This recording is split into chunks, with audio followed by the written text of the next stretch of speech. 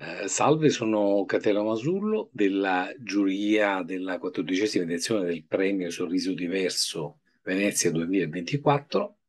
Il, eh, uno dei film dei lungometraggi candidato al premio è eh, Famiglia di Francesco Costabile,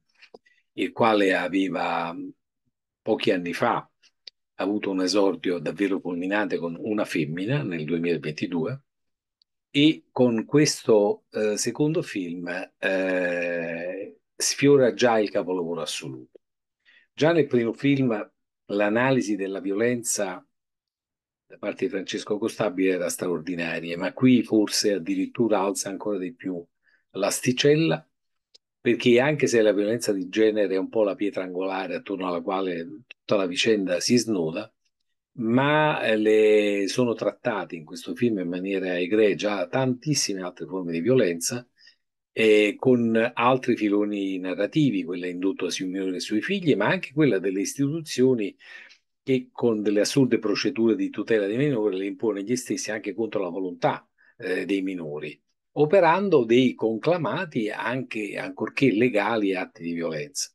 violenza anche come strumento di potere all'interno di associazioni parapolitiche o paracriminali e naturalmente eh, non, non, mancano eh, le sottolineature eh, della violen- della, eh, delle pesanti discriminazioni di genere e delle pressioni psicologiche come tante altre forme di violenza.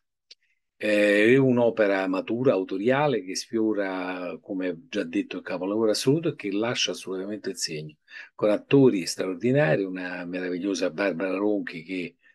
recita con gli occhi e un eh, Francesco Di Leva veramente forse ai massimi, eh, diciamo, alla sua migliore interpretazione di sé.